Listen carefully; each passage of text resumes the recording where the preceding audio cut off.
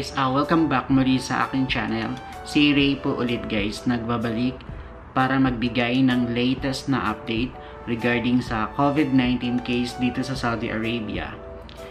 Bali, isi-share ko lang yung mga information na nakalap or nabasa ko sa mga lehitimong sources.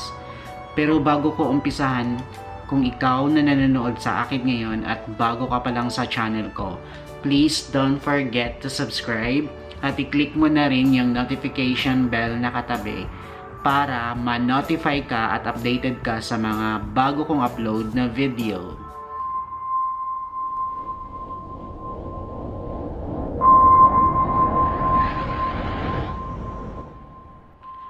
Sa araw na to, May 15, 2020, may nadagdag na naman na mga bagong case ng COVID-19 dito sa Saudi Arabia.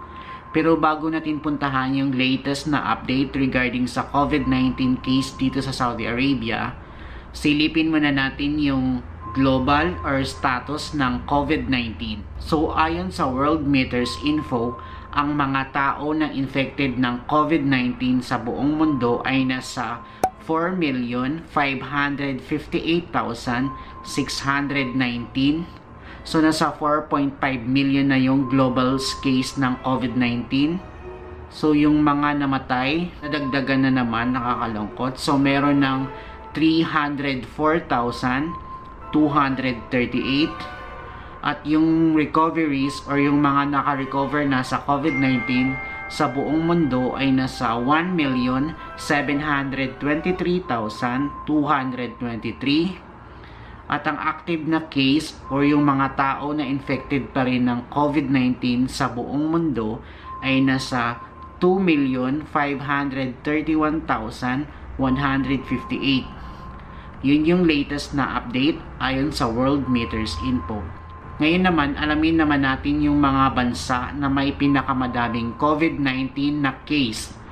So, ang nangunguna na bansa na may pinakamadaming COVID-19 na case ay nangunguna pa rin yung USA na meron ng mahigit 1.4 million na case. Pumapangalawa yung Spain na meron ng mahigit 274,000 na case. Next yung Russia na meron ng mahigit 262 na case. Pang-apat yung UK na merong mahigit 233,000 na case. Panglima yung Italy na meron ng mahigit 223,000 na case. Pang-anim yung Brazil na merong mahigit 204,000 na case. Next yung France na meron ng mahigit 178,000 na case. Pangwalo yung Germany na meron ng mahigit 174,000 na case. Pangsyam yung Turkey na meron ng mahigit 144,000 na case. Pang-sampu yung Iran na meron ng mahigit 116,000 na case. Yun yung sampung bansa na may pinakamadaming COVID-19 case as of May 15, 2020 ayon sa World Meters Info. Ngayon naman, puntahan naman natin yung latest na update regarding sa COVID-19 sa Pilipinas. So, today, May 15, 2020, ayon sa Department of Health or sa DOH Philippines, ang naitala na bagong case ngayong araw na to sa Pilipinas ay merong 215. So, itong 215, 144 doon ay galing sa NCR, yung 69 galing sa iba't ibang region, at yung dalawa galing sa Region 7. At yung recoveries, good news, madami-dami yung recoveries ngayon sa Philippines. So, merong 123 na recoveries na bago. So, ang total na na recoveries ngayon sa Pilipinas ay nasa 2,460. At yung mga namatay, nakakalungkot, may bago na namang nadagdag na namatay. So, merong bagong death na 16. So, ang total na deaths sa Pilipinas dahil sa COVID-19 ay nasa 806 at ang total number of case sa Pilipinas as of May 15, 2020 as of 4 p.m. ay nasa 12,091. Sa Pilipinas, nasa mahigit 12,000 na yung COVID-19 case. Kaya yung ibang lugar, naka-community quarantine pa rin or naka enhanced community quarantine or naka-modified community quarantine. Dahil nga pataas pa rin yung case. Ngayon naman, puntahan na natin yung pinaka-highlight ng video na to, ang regarding sa update ng COVID-19 dito sa Saudi Arabia. So dito sa kaharian ng Saudi Arabia, as of May 15, 2020, ayon sa Ministry of Health or sa dashboard ng Ministry of Health, ang naitala ngayon na bagong case sa Saudi Arabia ay nagtala na naman ng pinakamataas na bagong case. So, ang bagong case ngayon dito sa Saudi Arabia ay nasa 2,307.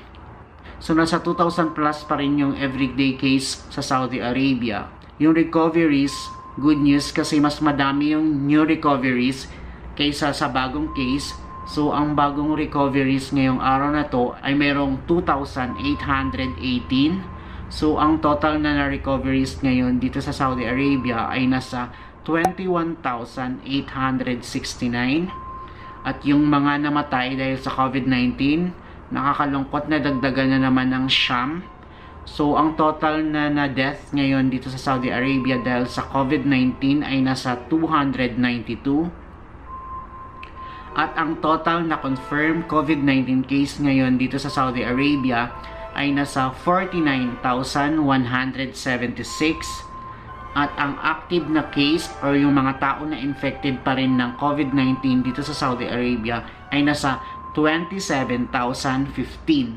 Ngayon naman alamin natin yung breakdown ng mga cities o regions doon sa bagong case na naitala today na 2,307. So, ang city na nangunguna na may pinakamadaming case na naitala sa loob ng 24 hours ay yung Jeddah na mayroong 444. Sumunod yung Makkah na mayroong 443 na bagong case. Next yung Riyadh na mayroong 419 na bagong case. Sumunod yung Madina na mayroong 152. Next yung Damam na may bagong case na 148. Sumunod yung Hafuf na mayroong 128 na bagong case. Next yung Deria na may, na, may bagong case na 66. Sumunod yung Tabuk na mayroong 62 na bagong case. Next yung Jubail na mayroong 56 na bagong case. At the rest, yun yung ibang cities o region na kasali doon sa breakdown ng bagong case na naitala today na 2,307. Dito sa Saudi Arabia, parami ng parami pa rin yung bagong case everyday. Kaya patuloy pa rin yung aksyon na ginagawa ng gobyerno. Patuloy pa rin yung expanded examination na ginagawa nila sa bawat region dito sa Saudi Arabia. Sa ngayon, naka-partial curfew pa rin dito sa Saudi Arabia pero sa darating na May 23 to May 27, 2020 ay magkakaroon na ng 24 hours na curfew or total lockdown. Dahil nga sa everyday na padami ng padami pa rin yung case dito sa Saudi Arabia. So yun lang yung latest at mabilisang update regarding sa COVID-19 case dito sa Saudi Arabia. Parami ng parami pa rin yung everyday case ng COVID-19 kaya patuloy ko pa rin pinapaalala sa inyo sa mga kabayan or sa mga kapwa kong OFW, lalo-lalo na dito sa Saudi Arabia na doble ingat pa rin yung gagawin natin. Patuloy pa rin natin gawin yung mga paraan kung paano natin maprotektahan ang ating sarili laban sa COVID-19. Manatili na lang muna tayo sa bahay. Huwag muna tayong lumabas kung hindi naman kinakailangan. I-practice pa rin natin yung social distancing ugaliin pa rin natin laging maghugas ng kamay gamit ang sabon at tubig kasi isa yon sa pinaka-effective na way o paraan para labanan si COVID-19 kasi recommended siya ng World Health Organization at panatilihin nating malakas ang ating resistensya at kumain ng masustansyang pagkain. At kung hindi talaga natin mapigilan na lumabas or kinakailangan talaga nating lumabas, protection na natin ang ating mga sarili, magsuot tayo ng face mask or gloves kung kinakailangan, ugaliin nating magbit-bit lagi ng hand sanitizer or alcohol, at umiwas muna tayo sa mga maraming tao or sa mga gatherings. So, dito ko na guys tatapusin tong video na to.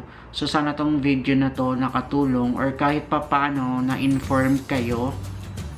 So, kung ikaw na nanonood sa akin ngayon at nagustuhan mo tong video na to, uh, huwag mo kalimutang mag-like or mag-share.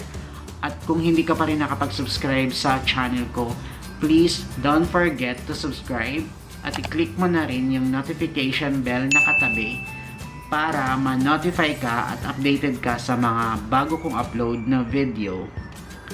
So that's it for now guys. Thank you for watching. See you in my next video or update. Bye!